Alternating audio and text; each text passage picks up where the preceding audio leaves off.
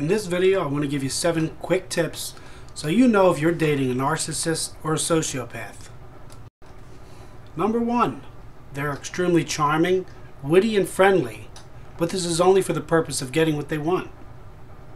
Number two, lying, deception, and manipulation are first nature to them. They're chronically dishonest. Number three, anger is always right beneath the surface for them. They're easily agitated and quick tempered. Number four, they're unwilling to be held accountable. Teamwork and rules mean nothing to them. Number five, a serious lack of remorse for the wrongs they've committed. They never learn from their mistakes. Number six, they're extremely impulsive. They never think about the costs involved or the consequences. Number seven, they're defined by their arrogance and their entitlement. These people walk around with a chip on their shoulder. Studies have shown that if you date these people, you're bound to get hurt.